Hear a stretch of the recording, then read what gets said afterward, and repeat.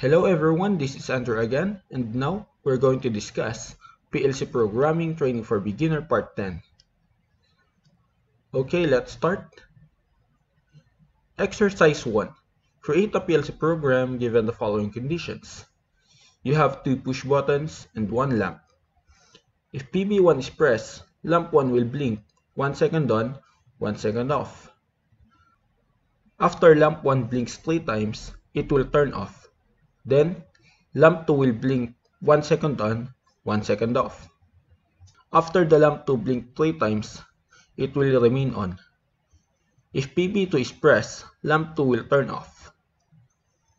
Okay, let's have our demonstration.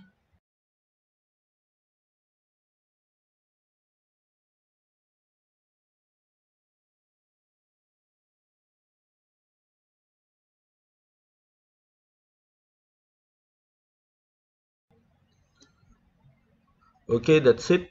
Now let's press PB2. Now, I want you to pause this video and try to do it by yourself. Then after that, you can resume this video so that you can compare your answer to my answer. Okay, let's continue. This will be my answer to this exercise. Let's press PB1. As you can see here, there's a latching here. And because M0 here is activated, T0 will be activated after 1 second. Then, Y0 will be activated. Because Y0 is activated, the count value of C0 increases and after that T1 will be activated after 1 second. And because T1 is activated the normally closed contact of T1 here will be open. And that will cause T0 to deactivate and Y0 as well. And because T1 is deactivated right now the normally closed contact of T1 will go back to its initial state and because of that T0 here will be activated after 1 second again. And the cycle will repeat. And let's assume that the count value here is equivalent to the set value. If the count value is equivalent to the set value it will make the counter 0 to be activated. And because of that it will make a signal diversion from y0 to y1 T0 will be activated after 1 second. And because T0 is activated, Y1 will turn on. And T1 will be activated after 1 second. And because T1 is now activated, the normally closed contact of T1 will be open. And because T1 is open, T0 will be deactivated and because T1 is deactivated, the normally closed contact of T1 will go back to its initial state. Because the normally closed contact of T1 is activated again, T0 will be activated again. And the cycle will repeat. Let's assume that the set value of C1 is equivalent to the count value it means counter 1 will be activated and timer 0 will be activated after 1 second. Y1 will turn on. And as you can see here, T1 will not be activated anymore. That's why the cycle will stop. And the only way to turn it off is by pressing PB2. And that's it. Now let's go to our simulation. Let's press PB1.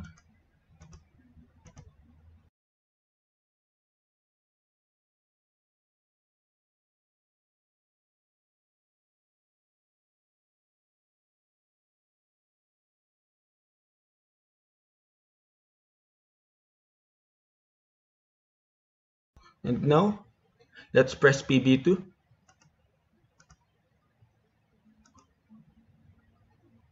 That's it. And now let's go to exercise 2. Create a PLC program given the following conditions. You have one push button and three lamps. If PB1 is pressed, the process will start. If the process repeats three times, the process will stop. Now let's have our demonstration. Let's press PB1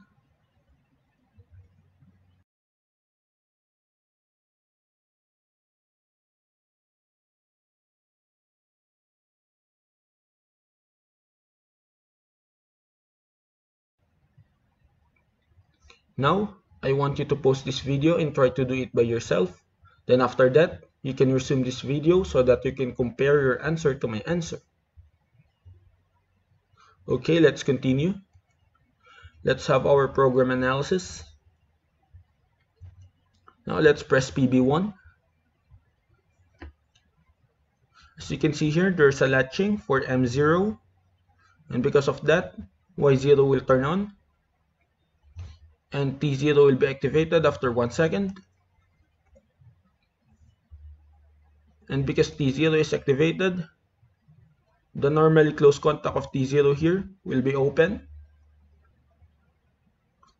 That will cause Y0 to turn off.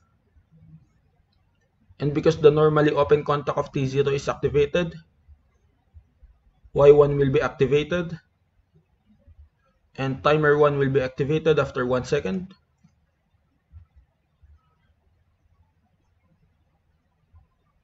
And because timer 1 is activated here, the normally closed contact of T1 will be open and that will cause Y1 to turn off and it will cause Y2 to turn on. And T2 will be activated after 1 second. And because T2 is activated, the count value of C0 will increase and the normally closed contact of T2 here will be open and that will cause T0, T1 and T2 to deactivate. And because T2 here is deactivated, the normally closed contact of T2 here will go back to its initial state.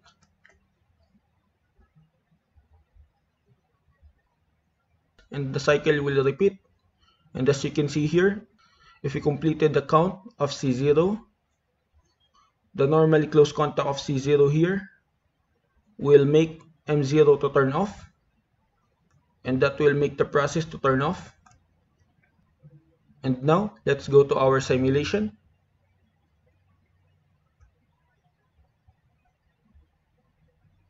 Let's press PB1.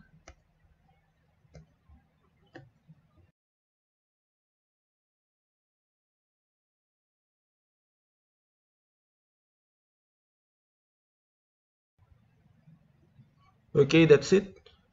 And now let's go to exercise 3.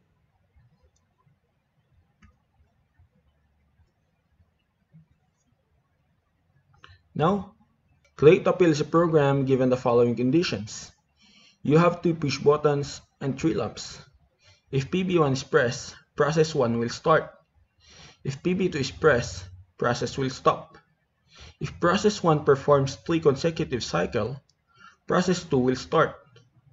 If process 2 performs 3 consecutive cycles, process 1 will start again. As you can see here, there are two processes. You need to perform both of the process alternately after performing each process three times. Now let's have our demonstration. Let's press PB1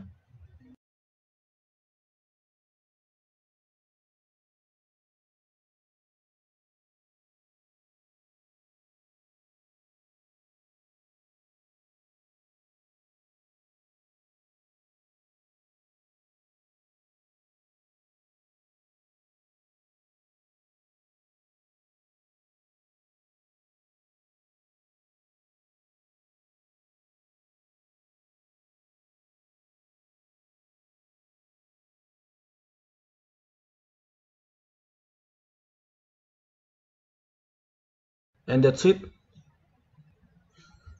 Now, I want you to post this video and try to do it by yourself. Then after that, You can resume this video so that you can compare your answer to my answer. Okay, let's continue. Now let's have our program analysis. Let's press PB1. As you can see here, M0 will be activated and there will be a latching. And because M0 is activated, M1 will be activated and that will cause Y2 to be activated because C0 here is not yet activated and M1 here is activated. Then T0 here will be activated after 1 second. Because T0 is activated, M1 will turn off. And the normally open contact of T0 here will be closed. And that will cause M2 to be activated. And because of that, Y1 will be activated here. And T1 will be activated after 1 second. and because T1 is activated M2 will turn off and T1 here will turn on and that will cause M3 to be activated. And because M3 is activated Y0 will turn on and T2 will be activated after 1 second. And as you can see because T2 is activated the count value for C0 will increase and the normally close contact of T2 here will turn off. And that will cause T0, T1 and T2 to be deactivated. And because T2 here is deactivated that will cause the normally close contact of T2 here to go back to its initial state. And the cycle will repeat. Now let's assume that the count value of counter 0 is complete. As you can see here, there's a diversion between y0 and y2.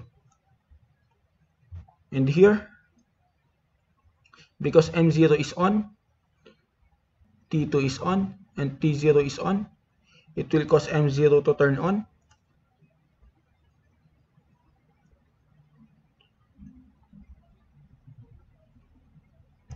because M1 here is on, Y0 will turn on.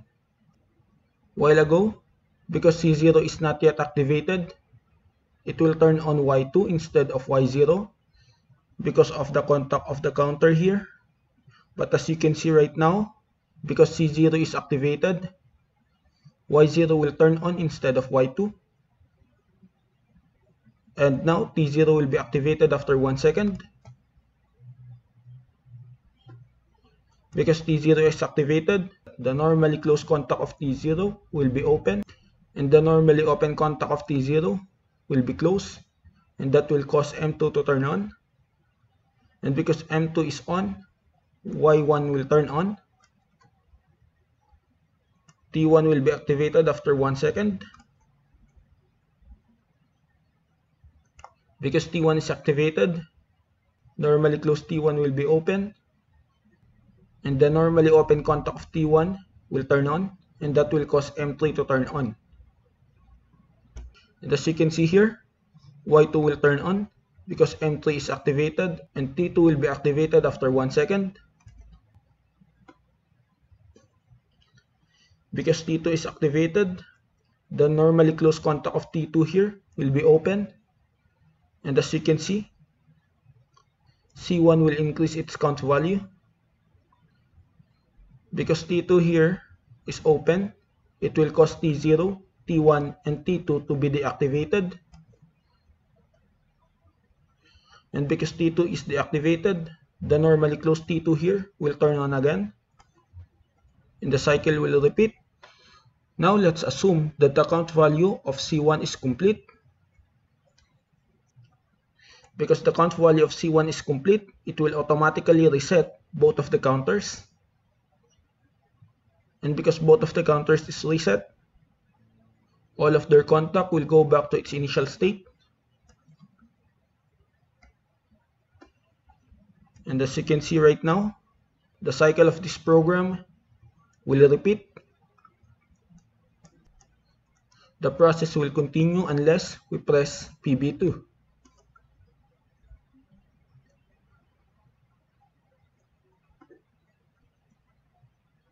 Okay, that's it. Now let's have our simulation.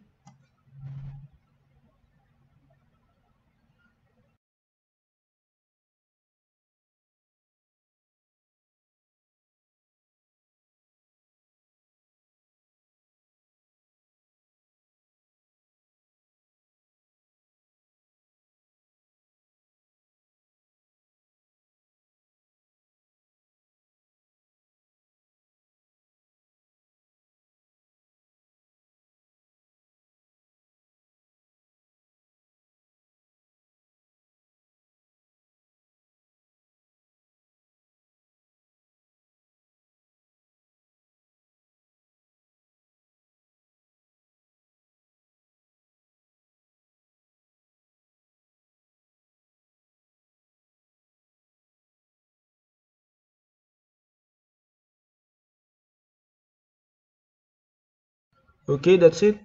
Now let's go to the next slide. Okay, we have a message. Dear viewers, I want to inform you that this will be the last video for this chapter, PLC Programming Training, Student Beginner. A new chapter will start soon, PLC Programming Training, Student Intermediate, which involves pneumatic cylinders and reed switch.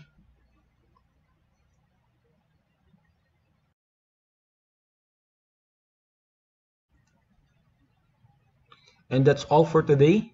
Thank you for watching this video.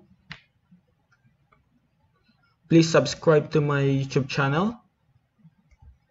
Click the notification bell to notify you for new video. Please like and share my YouTube videos and like my Facebook page. Please click see first on our Facebook page to notify you for new posts. If you like this video, please comment nice. Please comment negative and colon and put your negative comments about this video. Please type suggestion semicolon and put the suggestion about this video. And if you think that this video needs some improvement, just type improvement semicolon and put the things that you want to improve about this video. I will use all of your comment, negative comment, suggestion, and improvement so that I can improve all my future videos. Thank you for all the feedbacks. And thank you again. See you next time.